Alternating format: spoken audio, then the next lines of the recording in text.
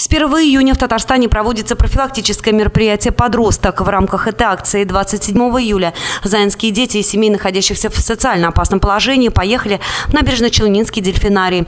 Организовали для них эту поездку сотрудники Заинского отдела полиции. Целью данной операции является вовлечение совершеннолетних в общественные дела, то есть э, посещение музеев этих с целью дальнейшего духовного развития, чтобы они не совершали правонарушения и преступления. В эту поездку отправилась группа из 17 детей в сопровождении сотрудника полиции. Можно сказать, что для них это стало настоящим праздником. Выбраться в поездку за пределы города и еще посмотреть двухчасовое представление. Любое мероприятие, на которых приглашают, это всегда для них праздник, потому что в их жизни праздников зачастую мало.